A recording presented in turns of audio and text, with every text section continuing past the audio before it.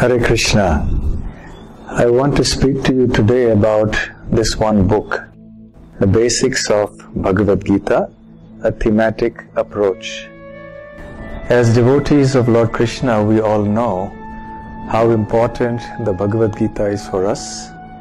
It's the most fundamental text for our Krishna consciousness and indeed for the whole world.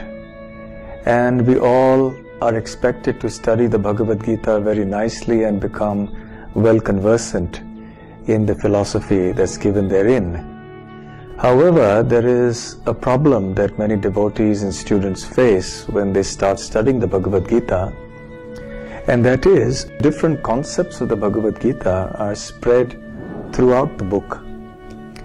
Uh, and you will find them uh, in different chapters, say the topic of karma, the topic of the three modes of material nature, etc. Very, very important concepts, but you have to really uh, study the whole book, and even then, perhaps it's difficult to get a complete picture in the mind. So, what's been done in this book is to put together the different concepts uh, and put them in one chapter. So, say everything that's the important ideas about karma presented in different places is put together in one chapter. Uh, the different ideas about reincarnation have been put in one chapter. And the different ideas about the soul have been put in one chapter here, and so on. So, this approach can be called a conceptual or a thematic approach. So, it's very easy to study the Bhagavad Gita in this way before we embark on a, a, study of the Bhagavad Gita chapter wise from the first chapter onwards.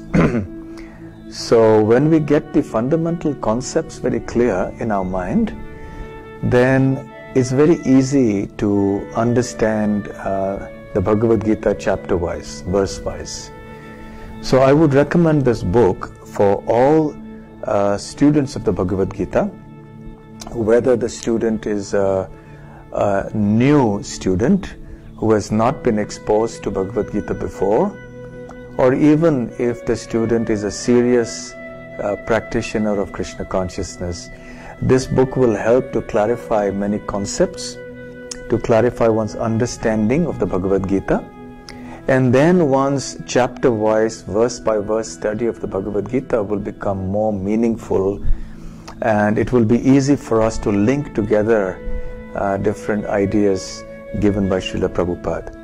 This book is not meant to be a substitute for studying the Bhagavad Gita as it is, rather, it is meant to be a preliminary text that will give us a foundation uh, so that we can understand the Bhagavad Gita as it is better and delve deeper into it.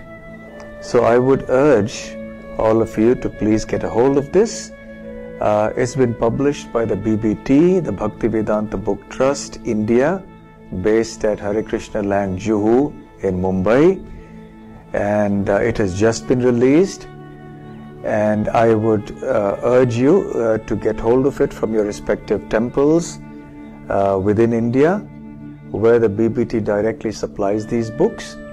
And for those of you who are outside India, perhaps you can approach the BBT centers in your city or in your country or your zone and ask them if they can procure this book from BBT in Mumbai.